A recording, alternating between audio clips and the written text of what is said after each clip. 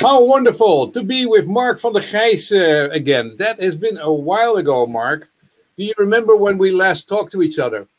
That probably must have been about two years ago, at least. It's been a while. It's uh, yeah, but it's good to be back. Good to see you again, and uh, good to see that uh, Bitcoin and blockchain are still going strong and getting stronger every day. So uh, absolutely, and still in the Netherlands. So this um, this uh, interview is for the, the, Dutch Blockchain Coalition, which is basically uh, looking at usage of, big companies who are looking in how they can use blockchain, and uh, for a conference. And well, I just want to show you uh, the last one of the last interviews we had, and that was um, when you were uh, at the at the Blockchain Coalition in 2017. You said, well, there's a 60% chance that the blockchain will go to um, 500,000 and it has a chance to go to 1 million. And uh, you were, at that moment, you were completely convinced that it was, uh, that, that Bitcoin was really the, um, the, the, the, the, most important, uh, the most important coin. And I just want to ask you, uh, are you um, still thinking that way? Exactly the same. Nothing has changed.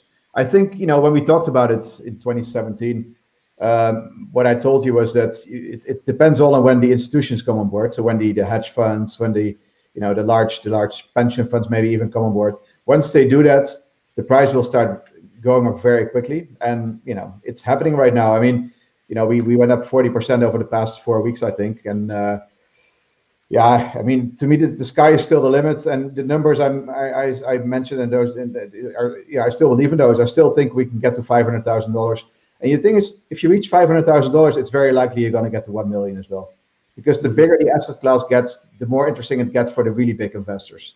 People yeah. like people like BlackRock don't want to invest in a, in, a, in, an, in an asset with a 330 or 350 billion market cap.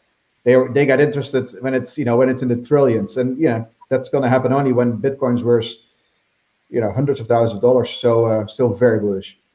Yeah, so at the moment, it's $18,981. What was the highest uh, in 2017? December 2017 on Bitstamp, it reached 19,666. So we're a little bit below it at the moment. And uh, yeah, it's very likely we're going, we're going past it very soon. So uh, very, very bullish market is starting. Yeah. And you said, and, what happened between 2017 uh, when we went to, well, with Bitcoin, it wasn't that bad. The altcoins really had a problem. But uh, what, what happened in that period? Well, so what happened in the run up into 2017 is that retail came into the market. So small investors, they all put all their money in. And, you know, what happened then after Bitcoin started to go down, they all started to sell. So, you know, they came in fast and they went out fast. And basically, if you if you if you look at that, that, that graph you're showing right here, if you leave the 2017 top out, you can you can actually still see a, a, a slope, an upward upward sloping uh, graph. So it's really it's really retail that that went in and went out, and then it started slowly growing with you know with more people coming in, and now finally also institutions coming into the market. Yeah. You were predicting that for a while. You said, you know, I see that the infrastructure at the bank uh, systems and at the regulators that that Bitcoin is becoming an acceptable asset uh, class for um, you know for institutional investors. But still it took three years before they pick it up. Do you is that more doesn't have to do anything with bitcoin or has it maybe something to do with uh, covid or with the the reset of the finance uh, system? I think that covid certainly accelerated it. It may have been a bit later if, if without covid. Uh, i mean it, it, took a lot longer than i thought. I, I really thought it would happen in 2018 latest 2019 but it's it's you know I'm always early with everything, so I actually I know that, so it's not a not a real surprise to be honest. But um, I mean, I knew it would happen one day, and it's I think with COVID certainly it's accelerated, uh, simply because governments are printing so much money, and that is not sustainable. And I think people are looking for for some sort of a hedge in case things really you know go wrong. Uh, the hedge has always been gold, but I think that hedge is slowly shifting, or you know, relatively fast shifting uh, to Bitcoin right now. So Bitcoin is becoming the new store of value. If the dollar doesn't survive or doesn't keep its value, there's something else that will keep will you know will, will keep the value. That that might be Bitcoin in this case. Yeah. And what role uh, does it play in the portfolio? Do they think, it's just a little asset class, and we were just investing a little bit in it to to to to see if there's an uptake, or does it also do they see it uh, that there's a serious role for the uh, for the class? No, not yet. It's it's really just a small part of our portfolio to hedge against against inflation, to hedge against the collapse of the financial system. If we see that you know the dollar is really not performing well, if we really see that the economy is much worse off than we thought it was, it might become a much bigger asset class. Also, it's a self-fulfilling prophecy. The more the more it goes up, the more people will, the more institutions will come in, and the more the price will keep keep on rising, and the more important the asset class becomes. But right now, it's not there yet. It's it's going to take a lot of time. It's you know the bull run is literally just getting started. I think it's uh, it it could take another well at least another twelve months before we before we hit a hundred thousand dollars. Uh, but then again, you know, it could go very fast as well. If, if some really big investors come in, if pension funds come in, then it go it could go, you know, sky high within within a few months. So that's possible. Yeah, it was the same with the dot com crisis. Uh, with the dot com, at a certain point, uh, institutional investors could not avoid the dot com, and they yeah. had to get into it, and they they had to buy it, and and then uh, but then afterwards we had a going down, and then afterwards it went up, and then now it's the most uh, valuable asset class of all the companies ever. Um, do you think that Bitcoin needs to be useful for anything else than store of value? Does it need to perform a certain role in life, or is it enough just to be there and to be desirable and to be a brand? Well, I mean, the current role is just a store of value, right? So, as we can see, it is it's sufficient to get a, to, the, to get a price increase, that's for sure. But I think there's there are a lot of other roles as well, and we just don't really see them at this point. The, the, you know, we we talked about Bitcoin becoming a currency in the early days. I, I don't really see that right now. It may happen eventually, but that's going to be and it's, that's not going to be a, an on-chain solution. So that means it we will not see transactions directly on the Bitcoin blockchain. I think because uh, they will be too expensive. It's going to be you know a second layer solution or even a third layer solution. Um, so something like Lightning Network, for example, or you know something else uh, what it is, I don't know. But I mean, it, it, it, at this point, Bitcoin is certainly not not right for on-chain transactions. Um, so I don't see it as a as a currency yet. But you know, who knows? I mean, it's it's hard to predict. I think it's it's it's it's it's too volatile at this point, and it goes up too fast to become valuable as a currency at, at, at this stage. Uh, but you know, once it hits, you know, say five hundred thousand dollars, it may it may may be different. Who knows? Yeah, you see now it's um, the transaction cost is two dollars, right, for yeah. one uh, for one uh, thing, and it it even went up. It even went up in November and October. It went up to uh, to twelve dollars. So there's there's a huge volume increase, and now it's it's it's quite it's quite expensive what about Lightning? I mean, we've been waiting for Lightning to be there to have a uh, off-chain uh, transaction possibility so that we can have much more transaction at much lower cost, and we only have a few things happening on the main net. What's happening with Lightning? Well, Lightning is going strong, very strong actually. Um, so I, I, think if we get if we get transactions, it's going to have it's going to happen at first on the Lightning network. So the only thing you need the Bitcoin blockchain for is to, to open and close the channels, basically. But to do the transactions, you can use the Lightning Network. Um, it's much cheaper. Um, there's actually more privacy on there. So there's a lot of advantages on there. And you know, the thing is with Bitcoin, you know, if Bitcoin say Bitcoin goes to hundred thousand dollars or more, you know, then the transaction fees also go up 10 to 15, 20 times. So instead of you know two dollars right now, it's going to be twenty dollars, or you know, instead of twelve dollars, it could be 120 or even 200 dollars for a transaction. That means th there's no way you can do a small transaction on the Bitcoin blockchain anymore in the future. So you need you need a second layer solution, and yeah, Lightning is, is super cheap in that regard. Yeah. So what are the so how, how can I do as a as a as a normal user? How can I basically do a Lightning uh, solution? Is it already operational? Is it already yeah, used? Or, I've been using it for two years. No, no, I've been using it for two years. I'm an investor as well, actually, um, in the company behind it, Lightning Labs. But um, yeah, I mean, you run your own nodes and you open channels with other people, and basically what you do is um, you know you set up a lightning wallet somewhere and you can you can transact with other people that have a lightning wallet. And it's it's it's routed routed through the through the through the network. Um, it's i mean it's it's it's it's not easy enough yet for the average user. I would say um, i mean I, I, yeah. I, I, would, I would say it's not at the moment it's still not it's still not very uh, it's still not very in my face. It's not easy to to get a wallet uh, for that uh, thing I mean, I see that uh, you know you can do a million transaction. You know, uh, if you a second. So that that is of course much enough to do most of the transactions which are necessary in the world. Yeah. Uh, and do you know the cost of a of a Lightning uh, uh, transaction? Is there or somewhere a place where you can see that? Uh, it, it's very low. I mean, basically, I don't know. I don't know what what what what the average cost is at the moment, but um, it's it's very low. It's uh, you basically you, you pay a little to the channels. That's what you do.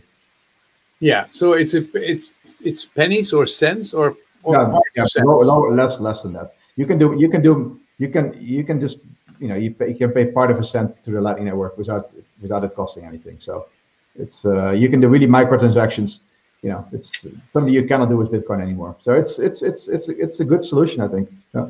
But you know, it is a good solution. We're we're still waiting, but I'm I'm I'm I'm here now in 2020, still asking Marc van der Chijs, who still was in 2017 already enthusiastic about Lightning. Now it's there. Now there's wallets. Now there is possibilities to to basically have it as a service. Yeah. Where am I? You are an investor in these kinds of companies. Where can I see the Lightning solution, which has millions of, uh, you know, millions of transactions per second at a very small part of a cent? Okay, that's what we want. Where can I see it? Well, you'll you'll you'll you, you won't see it yet because it's it's not used that much yet. Simply because people don't use Bitcoin to pay. Um, but you know those those things will change eventually, I think. But it's it's it's way too early for that. Okay, uh, but, but, basically what is technology now to do millions of transactions per second at a very very small um, you know part of a cent as a transaction cost. The technology is there. Is it is it solid? Is it grown up? Is it can you trust it? Uh, it is quite solid. It's it's not completely there yet. So the thing is, like I wrote my own nodes, and these things they break down every now and then. You have to reset them. You have to open channels, close channels again. It's it's it's not ready for the mainstream, I would say. Okay. It's uh, like in the earlier days when we were yeah. buying bitcoins, and you really had to know somebody how to buy a bitcoin, and it really was it was very complicated. So Lightning needs a nice interface. There are solutions. there are easier solutions already on the market. Like I think Casa has a solution that you can use easily, but still, it's it's not it's not as easy as you know as sending a Bitcoin through a wallet to someone else. It will get there very soon. I mean, it's you know, it, it's it's it's it's a matter of yeah, not not even years anymore. It's uh, it's it's it's around the corner. Yeah. yeah. But I mean, hey, you know, I mean, everybody, of course, was expecting everything to be done in a couple of years. We started in 2010 with Bitcoin, and now we're 10 years later, right? Yeah. I mean, it's, it's it's 10 years, and it's uh, it's now worth 350 billion. And but the, but the, the the interface is now easy, and now you can PayPal will accept it, right? There, there will accept it as a way to basically pay your uh, pay your fees, and of course they do it automatically, switch it back to uh, to dollars. Yeah. But it's ten years is not a lot of time for a new currency to come to the market. Absolutely, but, yeah, that's you know people always want to see solutions, you know, right away, but it, it takes time, especially with money. I mean, you cannot you cannot fuck up because you know it's it, it's you're talking about real money here. You, you, things have to be have to work, have to really work, and, and don't crash because if people lose their money in a crash, you know you, you can't you can't turn turn it back anymore. That's that's the, that's, that's and Bitcoin has been very reliable in that respect. Okay, let's uh, let's talk a little bit about before we go to other points. Um, what about some other uh, currency? Ethereum. Uh, what's your um, what's your evaluation of the of the ecosystem there, and what do you think of Ethereum 2.0, which is I think launching December 1st? If yeah, very soon. Yeah. No, I mean Ethereum 2.0. It's, it's I think it's good that they go to a to a proof of stake model. Um, I mean, I'm, I, I I don't invest in Ethereum as a as a, you know to, to make money. I, it's it's it's a, it's to me it's a utility token. It's it's it's great. You know the, the ERC20 tokens that are based on it uh, the red bitcoins on the Ethereum in the Ethereum blockchain. They're great. So Ethereum is very important for the for the ecosystem. Um, yeah. And I think with Ethereum 2.0, they you know they will probably stay in the lead. There are some some good competitors out there that could eventually beat them. But I think you know even though it took years to, to get to Ethereum 2.0, they did it now. They managed it. They they managed to get enough tokens to for for staking. So it's got it's really going to happen. And yeah, it's it's it's it's it's a good token. I think it's it's interesting, um, but it's not it's not a store of value token, of course. So you know, it's for me as as an investor, it's not something I would put money in, but it could it could go up yeah, a lot. But yeah, it's just the thesis yeah. is, is, is, not right for me personally. Okay, we'll have a separate interview about uh, Ethereum 2.0 because I'm really interested in because a lot of the the problems which Bitcoin has to face, you know, like going from proof of work to proof of stake, that you don't use these ridiculous amount of uh, electricity. That's what Ethereum is going is they're trying to do on December 1st. Yep. And then they're trying to increase the amount of transactions and to make the cost of transaction go down. A lot of these things, you know, with second tier solution, a lot of the things, Ethereum is a great place to see where Bitcoin is going. And Bitcoin is the biggest brand, but Ethereum is really interesting in terms of technology. People ask me the third one, XRP, which is going ridiculously. Look, it's now down five percent in one in one hour, but it went up in the last 24, 22 percent in the last 24 hours. I mean, this one is going berserk. I mean, it's now 70 cents. Yeah, and it was like uh, I mean, it's it's going huge.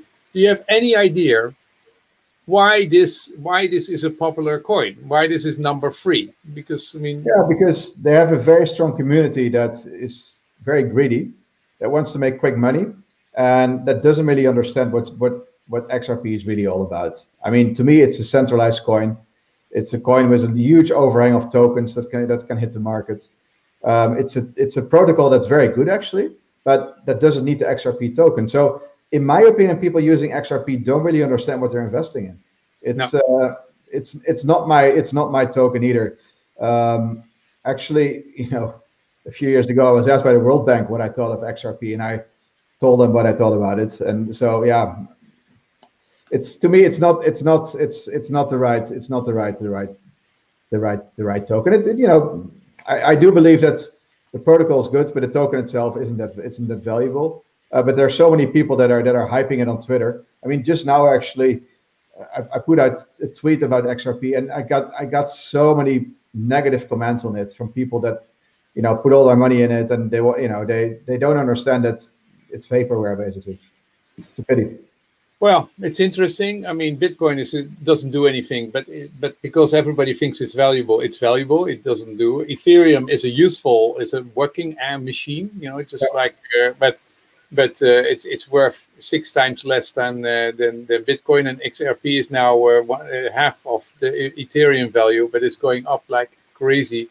and it has been worth more than that. You know, it was it was oh, yeah. worth one point five dollars, but the whole token has been used has been made originally to create banking uh, traffic. Uh, you know, to, to make it uh, to make it easy to send money from one bank to the other, which is actually still extremely difficult. But now they have a solution, and they use they don't use their own token. It's it's really correct. Yeah, been one of the been one of the wonders yeah. Most most people don't realize that though that they don't use their own token. That's that's the interesting thing about it. People seem to think that the Ripple protocol is XRP, but it, it's it's they're two different things. So yeah. it's not being used. Ripple is having all kinds of software which basically helps banks to transact with each other, and uh, but they don't use XRP. Okay, then uh, let's take a couple of more. The E the, the uh, Tether. Tether. Yeah, I mean the first the first the first big stable coin, the first US dollar stable coin uh, a lot of controversy in the past because people don't believe that it's fully backed by dollars. I think it's it's probably fully back, but I don't know because there has never been a real audit, at least no no public audit. Uh, but you know they were very they were essential actually in the first bull run and bull run of Bitcoin when Tether was really used to get money into the market quickly.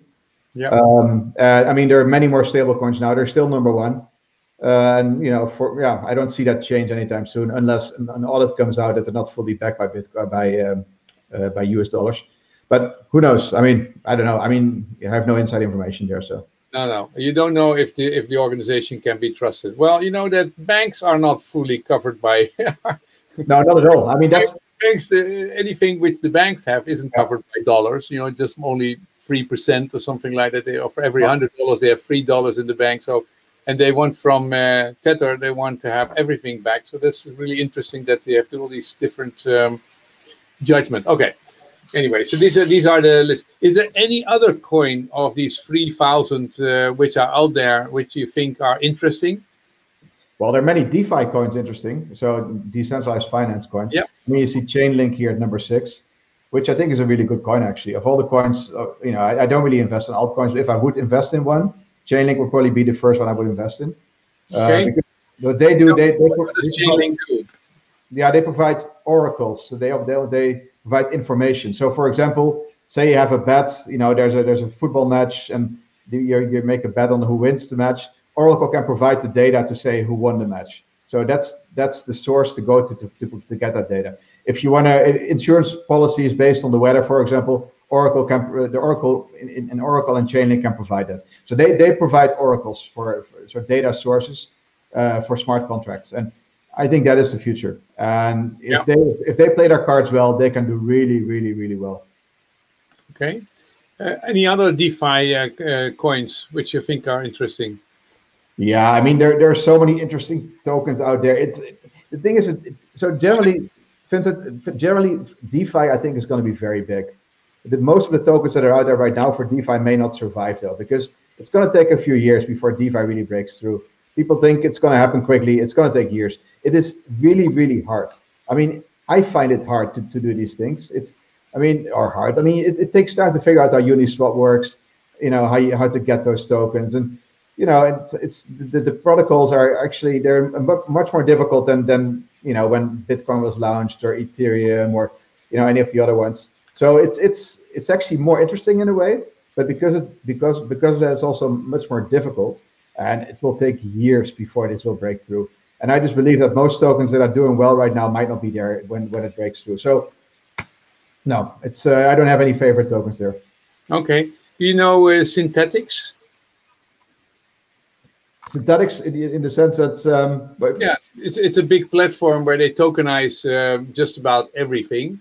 So, I mean, one of the goals of the decentralized finance is, of course, that you can tokenize, tokenize shares, tokenize yeah. loans, tokenize bonds, tokenize yeah. all kinds of things.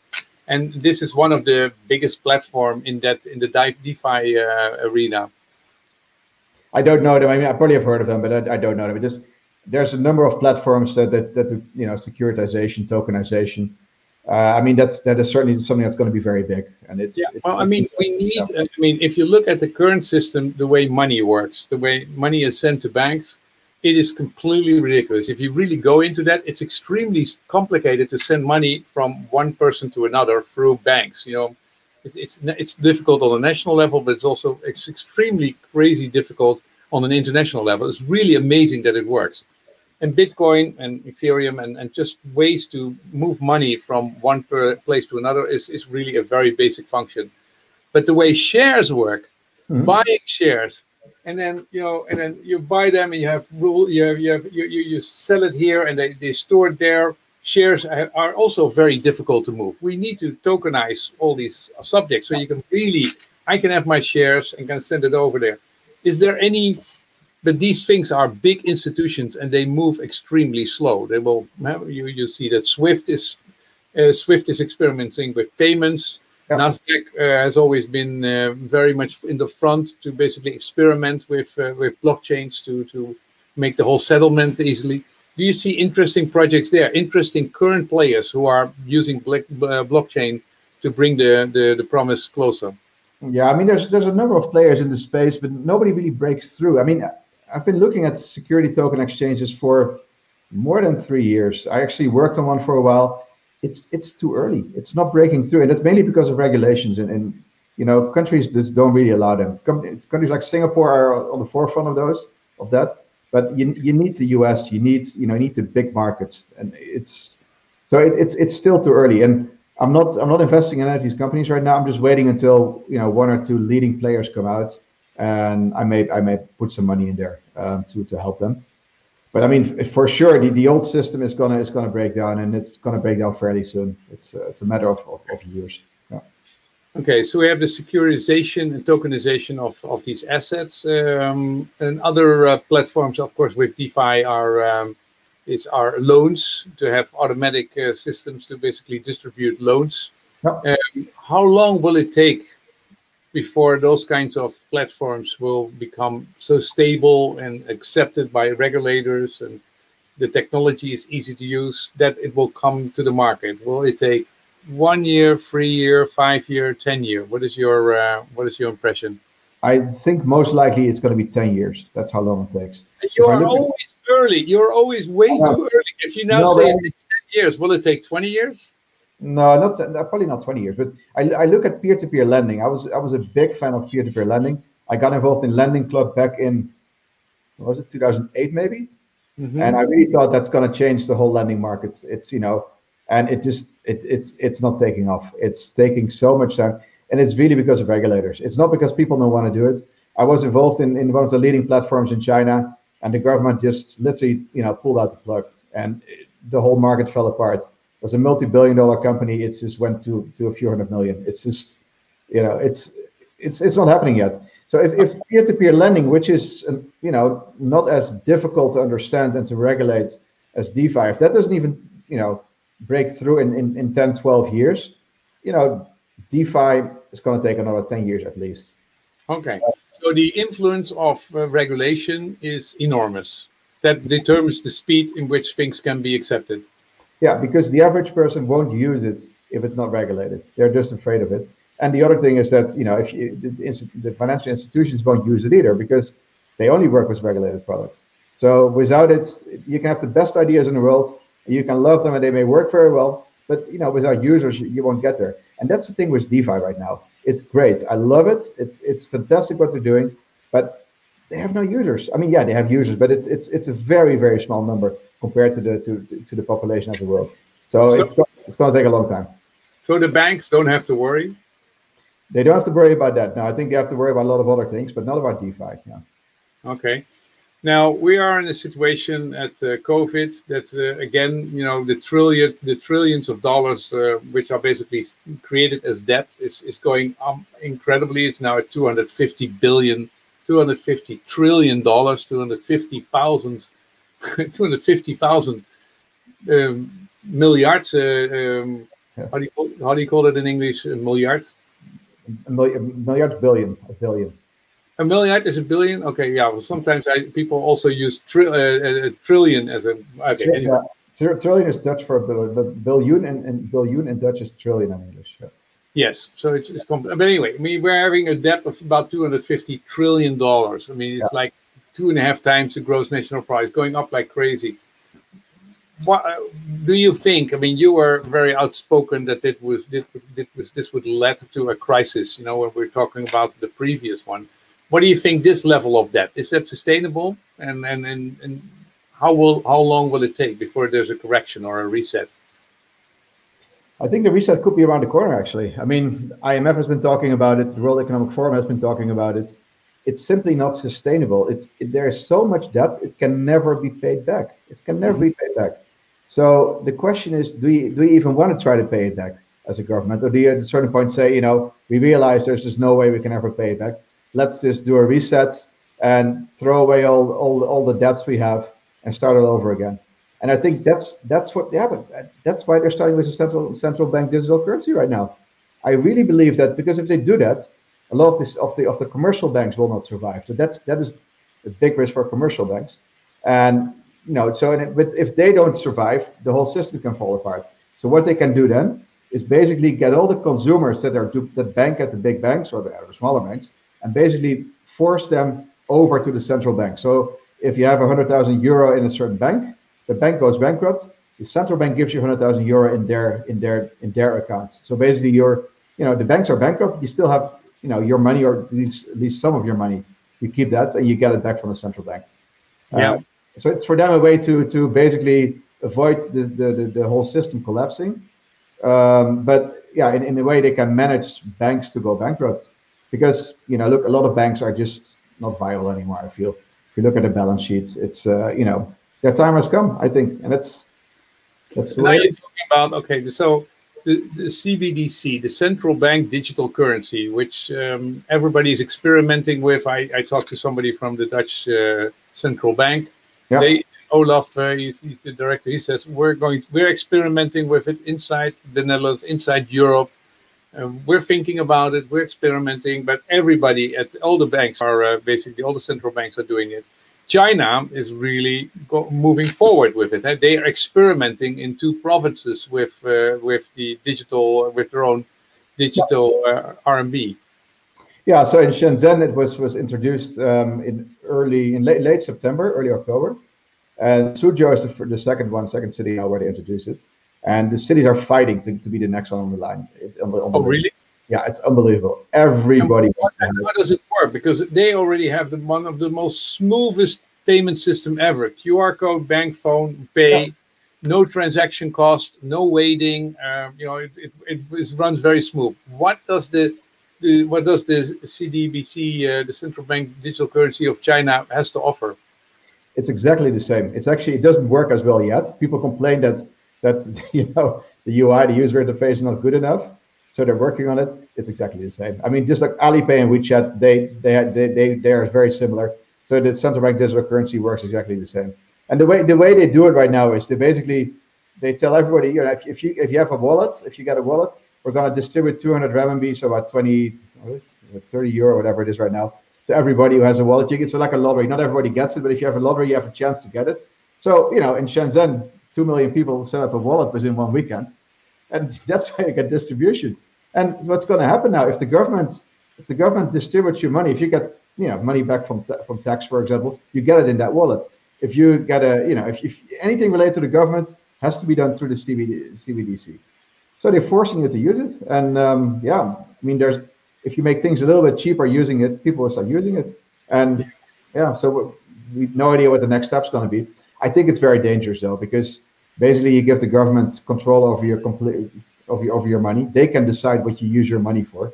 If they don't like you to buy something that's whatever. I mean, if you want to buy drugs, I mean, they'll buy drugs in China, but if you want to buy drugs, you know, you don't do it. You cannot even do it with CBDC because they can see it, right?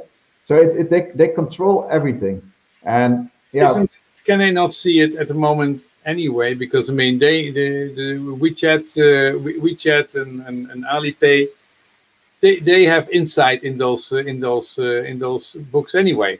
Yeah, they can. The thing is, you know, like for example, if you pay for something that's illegal in China, and this is just a just a random example, but the way it works is you pay someone a private amount on their on their WeChat or their Alipay, so you don't see what you're paying it for. It doesn't go through a company, uh, and probably you know the CBDC they will ask you what it's for. Likely, I think Alipay and WeChat don't do that. Not under certain, not be not at least not below certain amounts.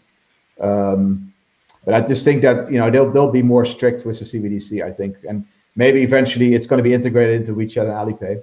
That's what I think actually, because yeah. WeChat, yeah I mean, WeChat and Alipay are used, for example, in, uh, in in Africa. You can even in Vancouver here, you can pay with pay with WeChat in supermarkets. I mean, yeah. So I can use I can use Renminbi to pay for things. So you know, why not use the CBDC for that eventually? Say that if you, you know, if you want to pay in Africa for something, you have to use CBDC money, and that's a way to get the Renminbi to become a more global currency. It's it's a Trojan horse strategy, and you know they're playing it.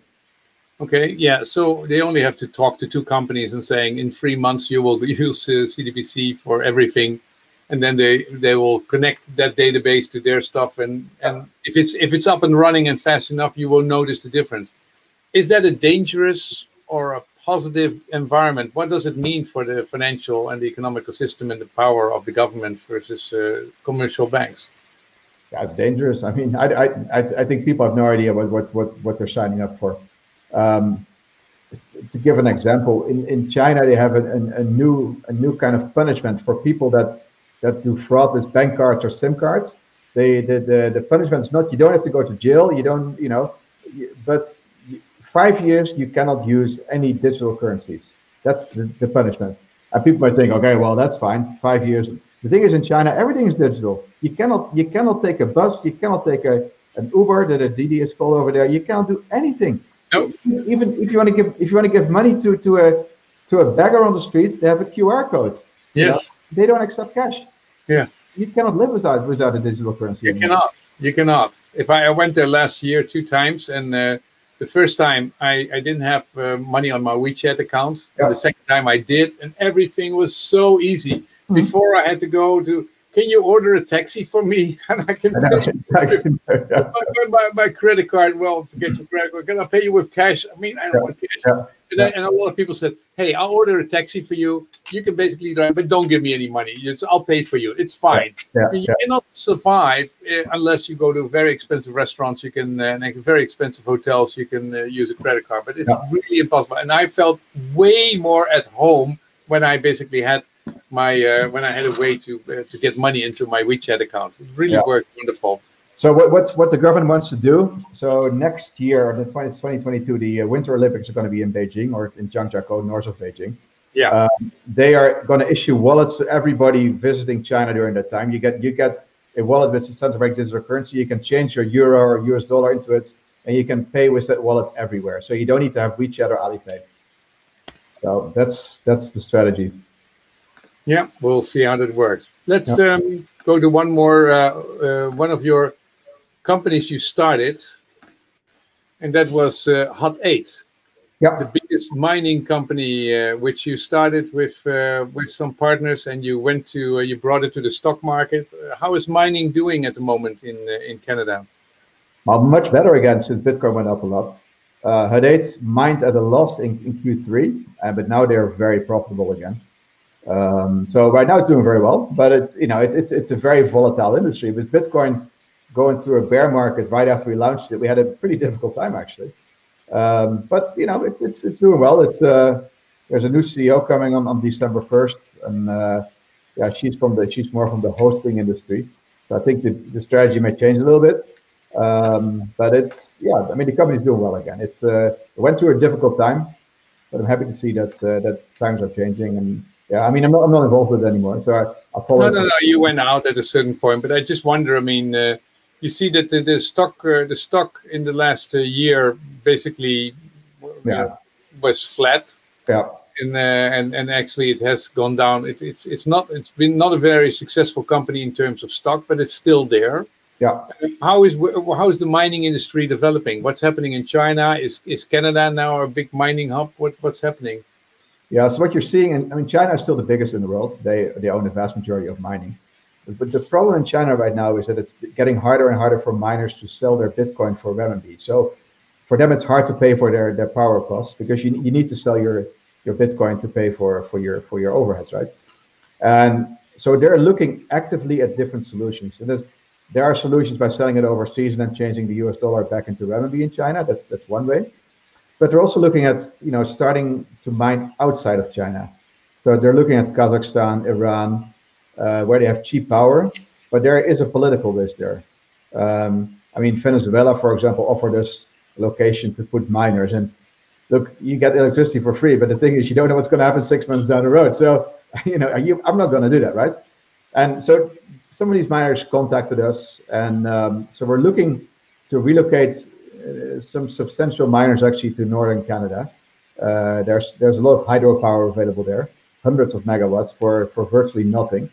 Um, that's that's a that's a project I'm working on right now. But you know, we'll see how that goes. It's uh, but there's certainly there's certainly a, a new market for Chinese miners outside outside of China, uh, meaning that you know China likely won't have the uh, the majority of the hash rate anymore in, in the future. It, can, it will take a few years maybe, but it's it's I think it's going to go down. What's the price of a kilowatt hour um, if you buy it in bulk uh, there? in Canada? Um, depending where you get it, about 1.6 cents. Uh, that is Canadian cents, so it's even less in US. Um, so including taxes, it's just over two cents, I think at the moment. Wow. Canadian. That's, that's all, that's all coal-based uh, electricity. No, it's hydro. It's water. It's uh, yeah.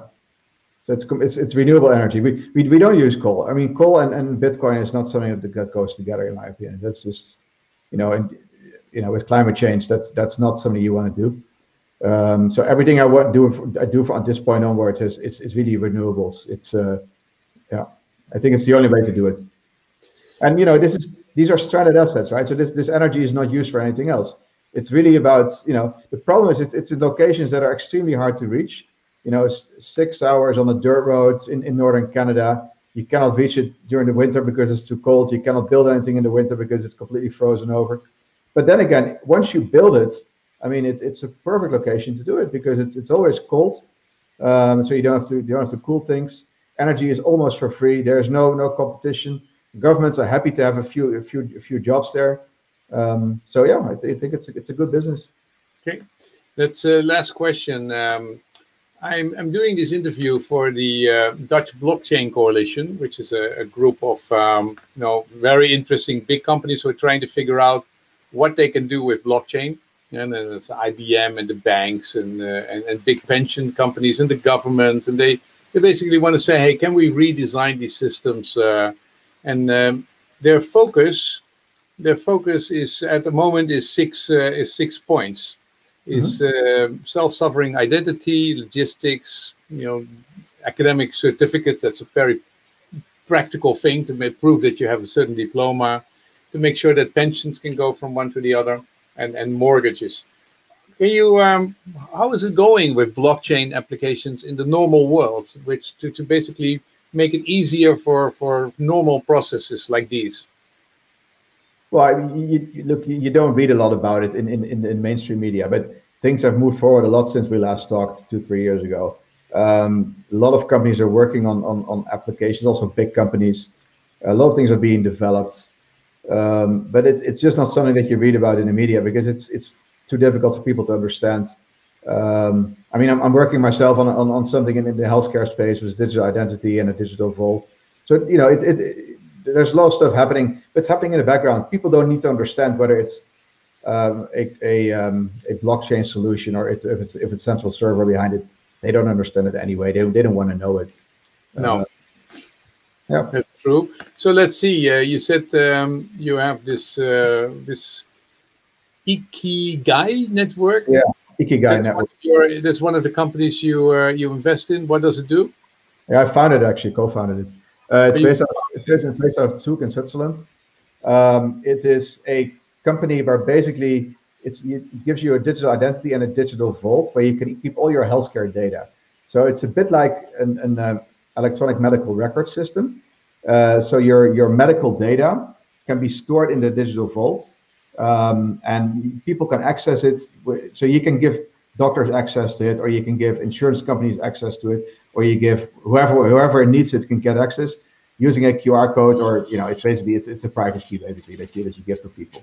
And uh-huh. the idea is really that people should own their own medical data, and they should also be able to monetize it. So our idea is, you know, we can we can we sell that data to, to external parties, and if you if you want, at least if you want to sell it, right, we help you to sell it. We we bundle it, and for for clinical clinical trials, for research, um, you know, anything you can imagine where, where data is needed for AI, for example, uh, this data is available. And the idea is to make it the, one of the biggest, biggest, um, yeah, blockchain databases of, of, of, of, medical health data in the world. And you can connect anything to it. If you have a Fitbit or an, an iPhone with, with a health app on there, you can connect it to this and all the data is streamed automatically and, and, and, and you know, basically be, can be accessed by people that pay for it. Okay, so that's my own individual medical data, and I'm sure I can basically, you know, own it and sell it and that kind of stuff. But of course, a lot of my data comes from hospitals and uh, and GPs, and is that also is it possible to in, to integrate that also into my uh, into my yeah, actually it is. We and that's we didn't really talk about it yet, but I set up another company called Care Protocol, uh, careprotocol.com that actually is a telehealth solution that's based based on based upon an EMR system, and all the data from an EMR system can be automatically sent to the Ikigai network. And this this company is still in alpha; it hasn't officially launched yet.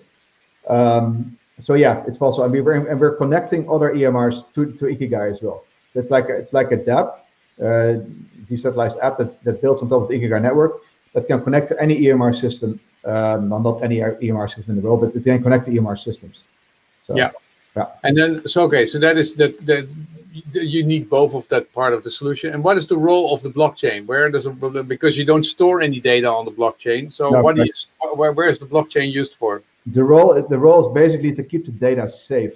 So people can only access it with a with a you know you have a public key that you give and a private key to where people can can can can can, can access to the data.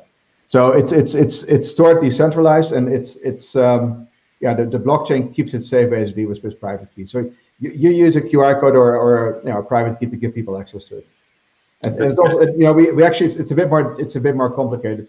We're using uh, NFTs, non-fungible tokens. So your data consists of non-fungible tokens that can be sold to other people. That's but that's maybe too technical for now. No, no, no. That's that's. I, I wanted to ask you if you yeah. do anything with non-fungible uh, tokens, but it's interesting. I mean, I need to keep track of my own private code, right? I mean, and if I I lose everything, I lose all my passwords, and I'm so happy that there's always this, you know, did you forget your password, etc. Why do you think people are able to keep their private keys in any way safer? I mean, people are extremely bad with that kind of stuff. That's why we also don't keep the money at home because we'll mess it up. Yep. and I mean, ten percent of the of the bitcoins is lost because all the keys are gone. You know, just like uh, so. So why do you why do you why? What's the role of the blockchain? Because I cannot be trusted with my own key. I'm, I'm convinced 99.99% of the people cannot be trusted with their own private key. And that's that's one reason why why people are afraid of Bitcoin, right? It's it's a general problem with with private keys, and you know there are solutions for this. And but I mean, I think what will happen eventually is that you're going to have biometric passwords. So basically, you know, a scan of your eyes or a scan, you know, a combination with your voice. Mm-hmm. Uh, together with, for example, a, a multi-sig wallet. So if you, you know, if if you lose your keys, there may be a solution with a multi-sig wallet that's uh, that two other people can help you to get it, or in combination with biometrics. So there, there will be different different ways of doing it, because right now it's it, I understand it it's it's too hard for people. It's too dangerous. Um, that's why people actually, you know, that's why people are afraid of of using using a hardware wallet. They're afraid of losing their their private keys and losing their money that's why people would put, put their money on exchanges. And okay, so we need, but, but we need to basically have a digital identity. We need a digital identity which is secure and which doesn't rely on my poor brain yeah. to basically, uh, you know, it's I don't care if they basically measure the way I walk or the way I talk or the way I look, and it, it has to be able to withstand fake AI software, which basically shows like I'm really there and I'm not. So but I, digital identity is still an incredible, an incredible problem, right? I haven't seen, we haven't moved forward much in the last uh, three years. Or do you see any movement in that direction? Well, there's there's there, there are a lot of initiatives, but there's no no still no good number one solution. So no now, traction. Lots of people have ideas and lots yeah, of things. Okay. Yeah. So anyway, so our last question I always ask you, uh, my, uh, Marc, uh, when is Bitcoin um, going to reach 100,000? What is your prediction for today? Looking at what's happening in the market, it could happen within a year, actually.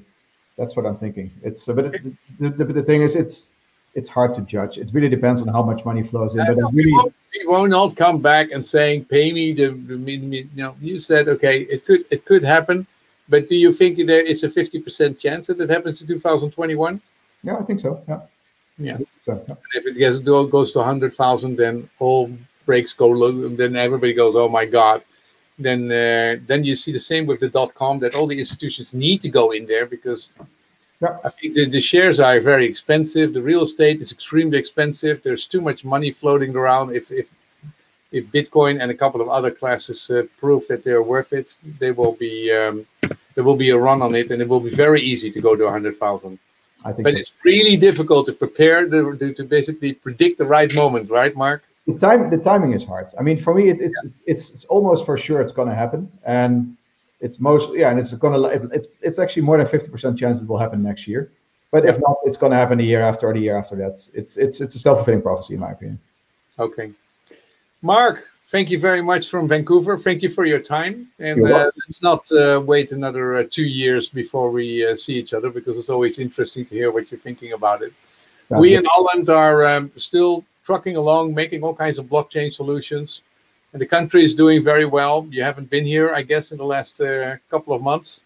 No, I was planning to. I, I planned to be there in November actually, but uh, because the numbers went up so fast with COVID, I was like, you know what, I'm just going to go from China back to Canada. And, uh, yeah, yeah. What, what do you think of Holland? If you look at that, uh, how uh, how much uh, how much COVID is around here in the Netherlands? So you compare it to Canada and compare it to China. Well, I mean, compared to Canada, it, it's, it's a lot less here, but that's more because the country is so so. I mean, to British Columbia, where I live, at least, it's it's a, it's a lot less because it's it's such a big area, and you know, there's a lot less contact between people. Yeah, compared to China, there's no there's no no comparison. Right? China has sort of solved it by having a complete lockdown and you know constantly constantly testing and life's back to normal there uh, so yeah my kids go to school there they, they don't even realize there's covid anymore it's just you know it's like yeah that was a couple of months ago but you know it, bars are open restaurants are open it's it's business as usual it's uh yeah, I saw there were in uh, Wuhan. There was also pop concerts where people were, uh, you know, thousands of people next to each other. Yeah, yeah. yeah. What do you think of their uh, of the way they did it? Uh, do you think that it will make China stronger and it will prove that the, the way they handle things there, um, that it has in, in improved the perception of uh, people around the world?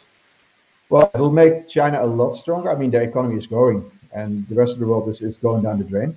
Uh, the perception of China is not going, not getting better because mainstream media don't really report what's really happening there. People still seem to think that the virus is, is due to China, which I just don't think is correct. But I, I think it's you know most Western countries try to cover up that they're doing a very bad job in, in stopping the virus.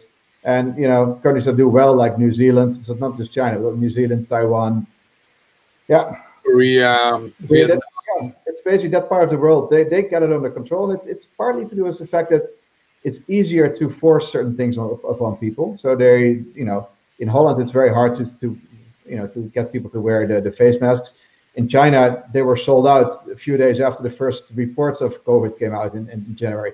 Even in Vancouver, lot of where a lot of Chinese live, you know, I tried to buy on January 23rd this year, tried to buy face masks. They were sold out already here in Vancouver. So you know, Chinese in general are, are quicker to see you know to see a risk, and they're more risk averse, I guess, and so they're willing to do more to to you know to stop the virus. And then yeah, the government took took at that point pretty crazy measures that people thought they were crazy, you know, complete lockdowns. But it turns out they were right. I think it's because uh, they went, yeah, Shanghai was closed for two, three weeks, opened up late February again. Other cities uh, in March, Wuhan a little bit later, and yeah, and then of course it was not complete, not completely open, but right now the country is back to normal. It's uh, yeah. yeah. We're looking at it jealously that uh, all this can be the can be this. Uh, when will we be uh, back to normal?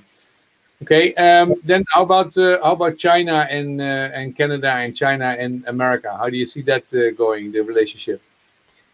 Well, you know, when I was in when I was in, in China in October, the elections hadn't taken place yet, and uh, people people hoped that Biden would win because they, he seemed to be more pragmatic.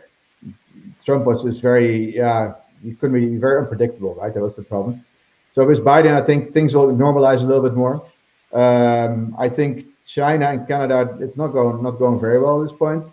Uh, Canada arrested the CFO of Huawei. Uh, she is uh, yeah she's almost a neighbor here, and uh, it's she's in yeah. here. Yeah, it's it's it's very unfortunate. It's uh, I think it's you know they did it because the U.S. wanted wanted to, wanted to arrest her, and but they haven't uh, they haven't uh, extradited her, right? She's still no, it's still going on. It's uh, she's a bit of a martyr among the Chinese community actually for what she's doing, um, but it's it's just not a good thing. And then you know then China arrested two two two Canadians. Uh, they said it's not related, but well, I'm not so sure. Yeah, I mean, it is. Look, that's but that it's just not necessary. It's it's and you know that wouldn't have happened if Trump wouldn't have been there, right? It's so I hope that that that can normalize as well when Biden is there. Um, but who knows, right? It's uh, it's it's politics. I'm I'm not a politician. Will never be a politician. No, my thing. No, it's, you're not a politician. You're way too outspoken. Yeah. So I mean, do you think that uh, uh, how, how, will we be in five years? You know, Canada uh, or no, sorry, America versus China. How will both countries develop?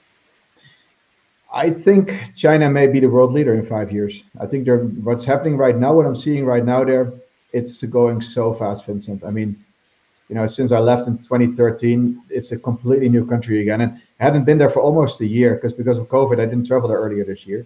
And I was surprised to see the changes again. I mean, they have completely autonomous taxis now in Beijing. Not a, not a lot, but a few of them.